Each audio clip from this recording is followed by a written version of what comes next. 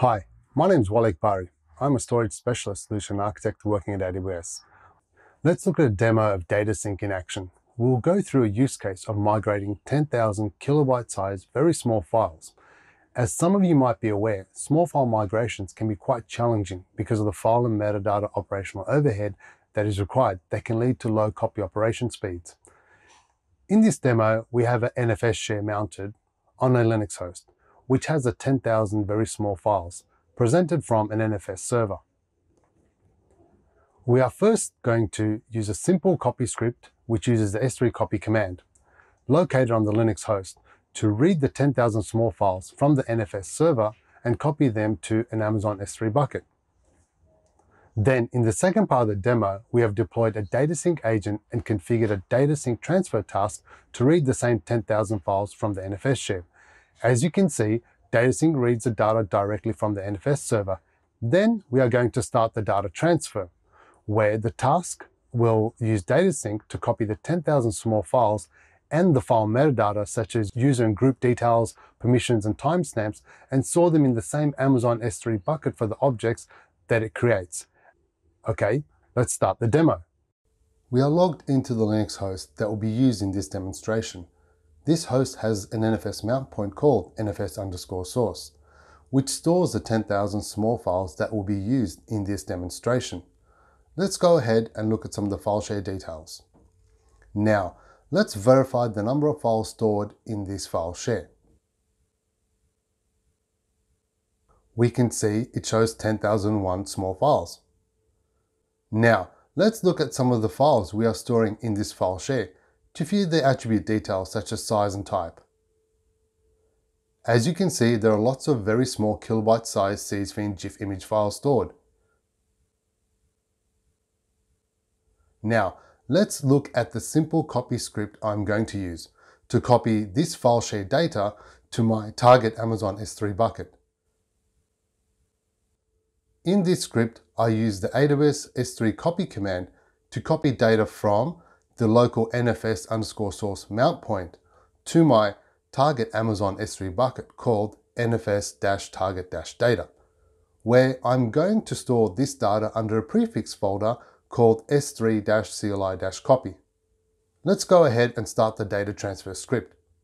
In the second window below, we can monitor the performance of how fast the small file data transfer is copying to S3.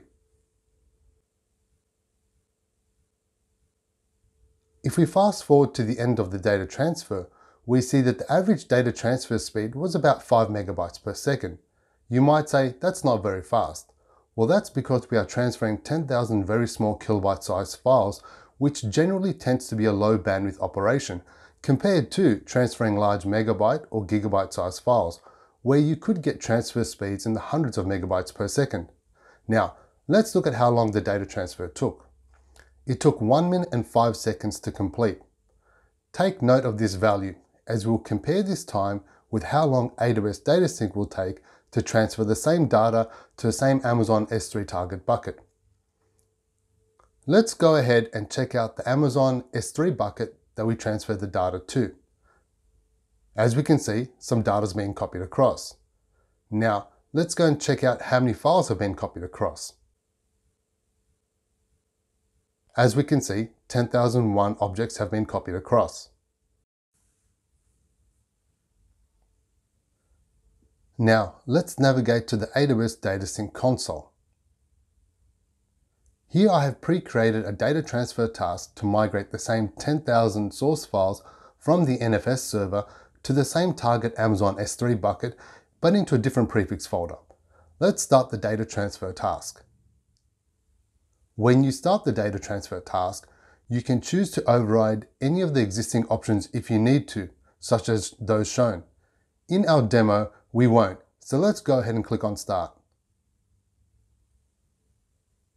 We can then go view the task execution progress. This will give us information on how our data transfer is progressing and how much data has been transferred.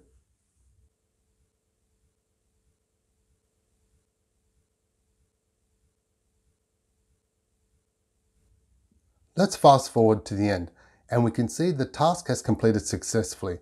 Note that it took 22 seconds to run compared to the 1 minute and 5 seconds of the copy script, and the average bandwidth achieved was 29 megabytes per second, which is a lot higher than the 5 megabytes a second that the copy script achieved. AWS DataSync not only transferred and accelerated the transfer of the data, it copied across the file metadata to the S3 object. Let's go ahead and see what that looks like.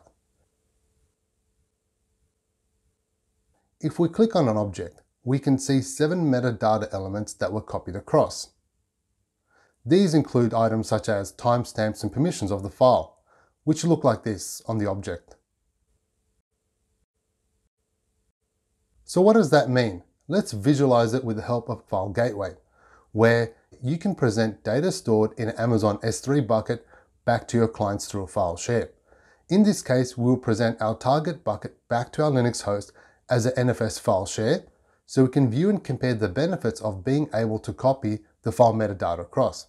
To save time, I have already created this NFS share using File Gateway as shown, where File Gateway points to my target bucket, which hosts the 10,000 files that we copied across using both the copy script and the AWS DataSync method.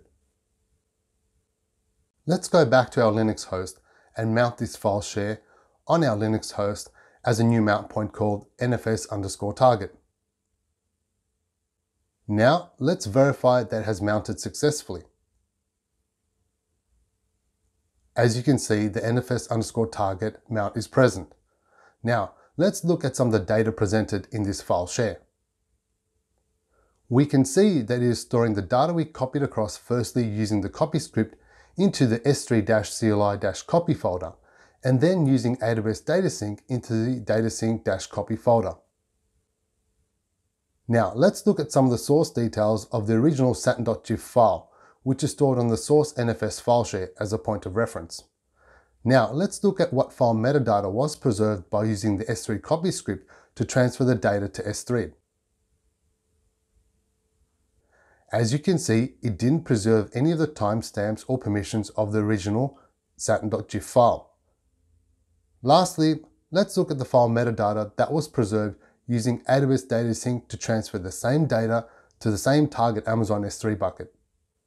As you can see, the timestamps and permissions match that of the original source Satin GIF file.